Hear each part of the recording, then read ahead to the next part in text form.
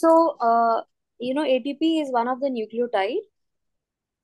Mm-hmm. Uh, it comes like there are four NTPs uh, for DNA and uh, for RNA we have also four. For DNA we call them DNTPs and for RNA they are just called NTPs. Okay. So ATP is one of them and ATP has one major role that it acts as energy currency of the body. Is full NTP like uh what is it? NTPS? Adenosine triphosphate.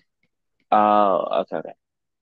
Okay, so uh, this adenosine triphosphate, uh, it's called adenosine because uh, ATP is a nucleotide, you know that?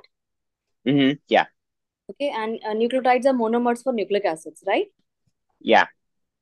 So now, uh, when see what is a nucleotide composed of? First of all, a nucleotide has uh, The monomers the uh mononucleo no not mono what's the word? yeah, it- it'll have Um a sugar. Okay, so yeah.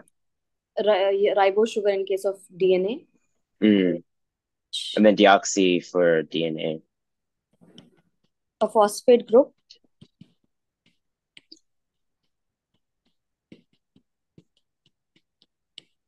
And there is one base over here. Now, if the name of the base is adenine, then this is adenosine triphosphate. Uh, so what does adenosine mean? Adenosine, adenosine means adenine plus sugar. Mm-hmm. Okay. Uh, Okay. adenine plus sugar means adenosine. And since it has three phosphates, so that's why we call it adenosine triphosphate. Mm-hmm. Okay. So now the uh, energy cycle which you was showing me, see what happens. There are a lot of reactions which are unfavorable, you know. Uh, for Yeah. example, uh, like uh, if X has to convert to Y. So uh, assume that this X is glucose. There is one reaction called, called glucose to glucose 6 phosphate. In this Mm-hmm. reaction, uh, this reaction is unfavorable. That means it cannot take place on its own, or it may time a lot of it will require a lot of effort if it is going to convert on its own. So then what we do is uh, ATP acts as an energy source as well as it acts as a uh, phosphate group donor. Mm-hmm. Okay. So for now, first thing, how it is acting as an energy source. Now, what happens when this ATP, this ATP is broken into ADP. This is ADP, no? Till this, Because it donates. it will this bond will break. You know, this bond. Yeah, yeah. Oh, okay.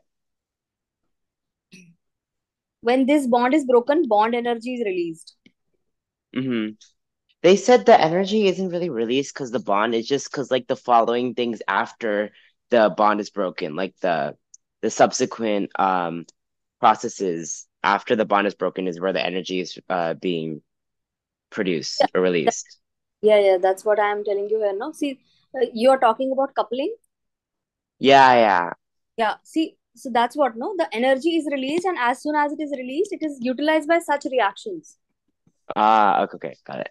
So what we do is we usually couple energy releasing reactions with energy requiring reactions. So this is the energy requiring reaction. We will couple this reaction with this reaction.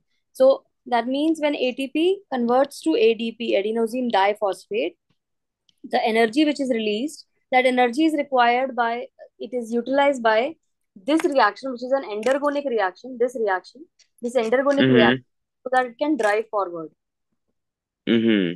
And one added advantage is that in this reaction, ATP is also acting as a phosphate group donor. But this is not mandatory. Okay. Okay, there may be some reactions where simply ATP is converting to A, AM, uh, ADP plus PI. So that means only the bond is being broken so that it can release energy. So that the non-spontaneous reaction or you call it uh, endergonic reaction, they can move forward. Okay.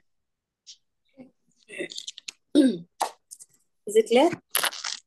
I'm still kind of confused on how the ender uh endergonic reaction has to do with the ATP. I'm still kind of confused on that. Okay, so see what happens. Uh, you assume that this is substrate. Substrate here is glucose. Mm-hmm. Now glucose has to convert to glucose 6 phosphate that is product of this reaction. Okay. So for conversion of glucose to glucose 6 phosphate, it has to travel this much from here to here to here, uphill, uh, you know, uh, climb this hill and then come down and then convert Mm-hmm. Phosphate, which is a very uh, difficult task. Okay. This is called the activation energy barrier. Now there, there is Mm-hmm. activation energy barrier which is playing part here and is Yeah. delaying the process. Mm-hmm. We have a, we have a catalyst which is called hexokinase, The enzyme. the enzyme. This enzyme. It reduces, lowers it, right? yeah, it will lower down the activation energy barrier. So this is Mm-hmm. the energy barrier, EA, we call it EA, activation Yeah. energy.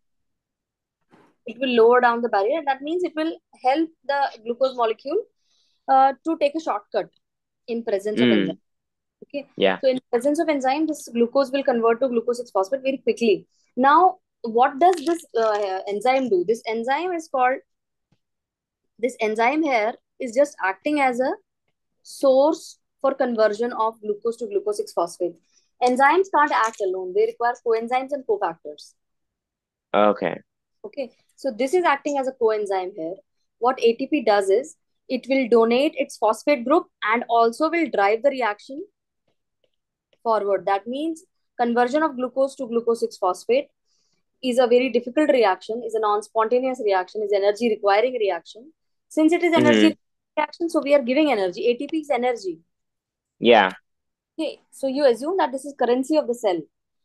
It's energy is the, is the currency of the cell. We are spending Okay. money inside the body in the form of ATP, just like you spend there in, in dollars, right? Okay. So now, whenever you are investing in a reaction, that means Uh-huh. reaction is uh, important reaction. Right now, we are So are the investing. ATP kind of uh like goes in the forward direction, so it kind of powers the does it power the enzyme to move forward and lower the activation energy like that? Or yeah, yeah, yeah, yeah. okay. In you can just imagine that without uh, ATP and such coenzymes and cofactors, there are a few cofactors also which will be required, like Yeah. mm, like um, uh, zinc, cobalt, uh, magnesium, manganese,